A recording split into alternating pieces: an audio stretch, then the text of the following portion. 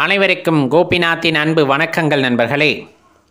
இந்த ஆறாம் தேதி பார்த்தீங்கன்னா மாசி மகமானது வருகிறது. இது ஐந்தாம் தேதி இரவு பத்து ஐம்பது மணிக்கு மேலே ஆரம்பிச்சிடும். இந்த ஆறாம் தேதி பின்னிரவு ஒன்று பதினைந்து வரலும் வந்து மக நட்சத்திரமானது இருக்கின்றது. இந்த பௌர்ணமி தேதி பார்த்திங்கன்னா ஆறாம் தேதி மாலை அஞ்சு முப்பத்தி எட்டுக்கு ஆரம்பித்து ஏழாம் தேதி இரவு ஏழு முப்பத்தி நாலு வரலும் இருக்குது இந்த பௌர்ணமி திதியும் மக நட்சத்திரமும் கூடி வரக்கூடிய இந்த ஆறாம் தேதியில் மாசி மகம் அப்படிங்கிற அந்த தீர்த்தவாரி அல்லது கடல் நீராடல் அப்படிங்கிறது பெரும்பாலுமான சிவாலயங்களிலே ஆலயங்களிலே நடத்தப்படும். இன்றைய தினத்திலே நீங்கள் கடல் நீராடும் பொழுது அல்லது புண்ணிய நதிகளுக்கு சென்று நீராடும் பொழுது நாம் தெரியாமல் செய்த நல்ல கவனிச்சுக்கணும் தெரியாமல் செய்த பாவங்களிலிருந்து விமோக்ஷனம் பெறலாம்.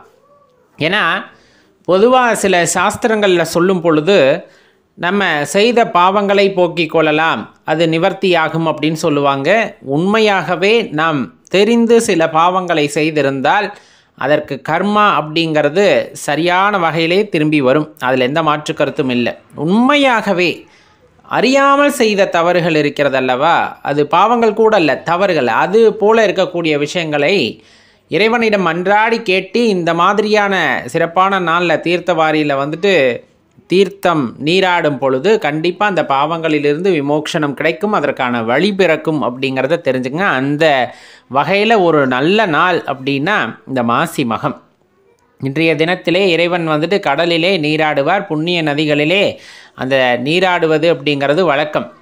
இந்த எல்லா நதிகளும் வந்து இந்த மாசி மக குளத்தில் வந்து நீராடுவாங்களாம். அவங்க அவங்க பாவங்களை போக்கிக் கொள்வதற்காக ஏன்னா எல்லாருமே அந்த நதிகளில் போய் அவங்கள பாவங்களில் விட்டுட்டு வர்றாங்க இல்லையா?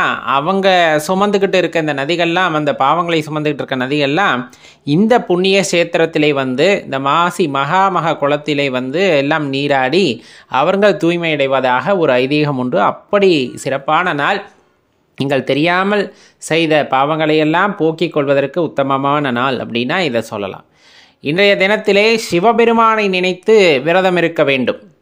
எதற்காக சிவபெருமானை நினைத்து விரதம் இருக்க வேண்டும் அப்படின்னா இந்த பாவங்கள் போவதற்கு வழியை காட்ட வேண்டும் அப்படின்ட்டு சிவபெருமானிடம் விரதம் இருந்து புண்ணிய நதிகளிலே நீராடுதல் அப்படிங்கிறது அதற்கான வழியையும் வாய்ப்பையும் ஏற்படுத்தி தரும் குழந்தை வரம் வேண்டுபவர்களும் இன்றைய தினத்திலே எம்பெருமானை நினைத்து மனமுருகி வழிபாடு செய்து விரதம் இருக்கும் பொழுது கண்டிப்பாக அதற்கான வாய்ப்பையும் நல்ல சந்தர்ப்பங்களையும் வந்துட்டு இறைவன் ஏற்படுத்தி தருகின்றார். உடல் உபாதைகளால் உங்களுக்கு பிரச்சனைகள் இருக்கிறது அப்படின்னாலும் இந்த தினத்தில் இறைவனை வேண்டிக் கொள்ளும் பொழுது அந்த உபாதைகளிலிருந்து நாம் வெளிவர முடியும் அப்படிங்கிறதையும் தெளிவாக தெரிஞ்சுக்கணும். எப்போவுமே பௌர்ணமி திதி அப்படிங்கிறது ரொம்ப சிறப்பு. அந்த பௌர்ணமி திதியில் அம்பிகையோட ஆற்றல் மிக அதிகமாக இருக்கும் அப்படின்னு சொல்லுவாங்க.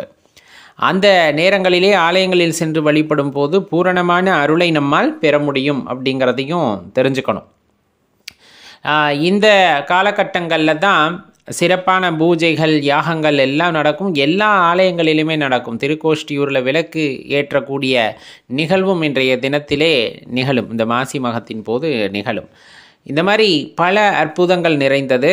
இந்த மாசி மகம் அப்படிங்கிறதே நம்முள் இருக்கக்கூடிய பழைய சிந்தனைகள் அதாவது தேவையில்லாத எண்ணங்களை எல்லாம் நீக்கிவிட்டு புது வாழ்வு வாழ வேண்டும் என்று நினைப்பவர்களுக்கான ஒரு வாய்ப்பு அப்படின்னா இந்த மாசி மகத்தை வந்துட்டு குறிப்பிட்டு சொல்லலாம் நண்பர்களே அருகாமையில் தீர்த்தங்கள் இருக்கக்கூடிய ஆலயங்களாக இருந்தாலும் சரி புண்ணிய நதிகளுக்கு சென்று அங்கே அருகாமையிலே ஆலயங்கள் இருந்தாலும் சரி நதி நீராடல் கடல் நீராடல் சென்று விட்டு முடித்துவிட்டு பின்னர் இறைவனை சென்று ஈஸ்வரனை சென்று வழிபடும் பொழுது கண்டிப்பாக நல்ல ஒரு வாய்ப்பை அல்லது ஒரு நல்ல சந்தர்ப்பத்தை பாவத்தை போக்கிக் கொள்வதற்கான சந்தர்ப்பத்தை வந்து உண்டாக்கி தருவார். அதில் எந்த மாற்று கருத்தும் இல்லை நண்பர்களே.